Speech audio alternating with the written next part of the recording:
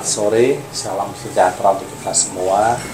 Yang saya hormati uh, Bapak Ketua Gamelan dan uh, anggota-anggota pencinta gamelan. Saya mengucapkan terima kasih sudah berkenan datang ke Wisma, Wisma Konsul Jenderal Republik Indonesia di Kaledonia sini.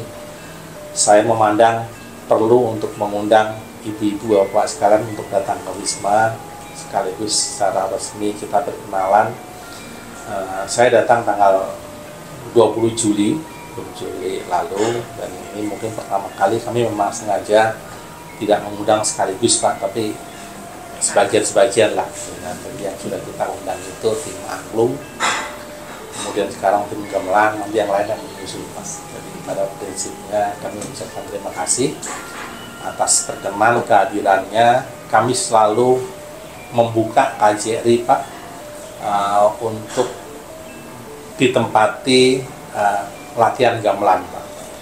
Karena pada prinsipnya itu kewajiban kami untuk memfasilitasi sehingga gamelan itu juga dikenal dan juga uh, diminati oleh uh, ya diaspora Indonesia lah Pak. Jadi orang-orang uh, yang menjadi uh, sahabat Indonesia termasuk juga yang masih uh, statusnya warga negara Indonesia.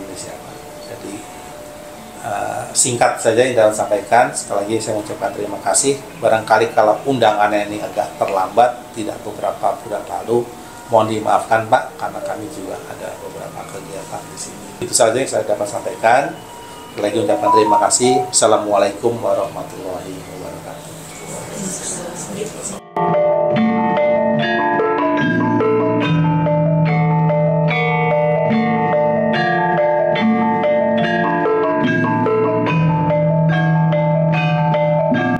teman-teman kami yang kami hormati.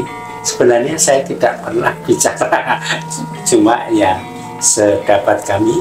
Kami merasa terima kasih kepada Bapak Konjen dan Ibu yang sudah memperhatikan pada kami semua. Dan kami terima kasih. Mungkin pada waktu latihan-latihan kami berbuat yang kurang baik mohon dimaafkan. Jadi uh, mungkin sekarang yang latihan terus ini eh, orang-orang uh, yang betul-betul senang sama gamelan dan mudah-mudahan tahun depan mungkin bisa tambah lagi mudah-mudahan. Uh, kami mengharapkan keluarga-keluarga bisa tambah dan kami terima kasih kepada Bapak dan Ibu yang selalu terbuka terhadap warga. Kami katakan warga saja karena ya, diaspora diaspora atau warga negara Indonesia semuanya warga. Ya, ya, terima kasih. Dan kami tidak pernah bicara panjang. Terima kasih hanya itu. Yes.